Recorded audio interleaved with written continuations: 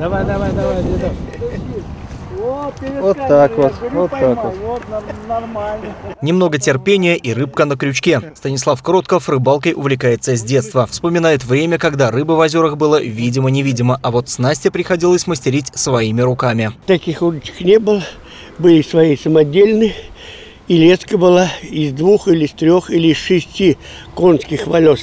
Сплетали и рыбачили. В соревнованиях приняли участие порядка 80 человек. Это люди с ограниченными возможностями здоровья и пенсионеры. По словам рыбаков, нет досуга лучше, чем отдых на свежем воздухе в компании друзей. Ну, соревновательный процесс, конечно, подстегивает. Охота поймать, охота что-то показать. Лучшего рыбака выбирали в нескольких номинациях. Хорошим уловом смогли похвастаться не все. Тем не менее, многие приехали сюда не столько за рыбой, сколько за хорошим настроением и вдохновением.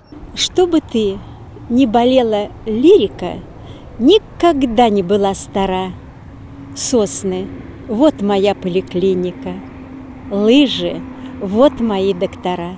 Соревнования на Кубок главы города «Рыбалка без границ» стали традиционными в Самаре. Ежегодно они проводятся городским департаментом социальной поддержки и защиты населения. Люди с ограниченными возможностями не всегда могут вот так вот выехать на природу. Есть ряд обстоятельств, э, трудностей, да, чтобы вот просто приехать и порыбачить. По окончании соревнований участники смогли оценить результаты стараний как своих, так и соперников. Кульминацией по традиции стало приготовление ухи в котелке на костре. Павел Баймаков, Максим Гусев. События.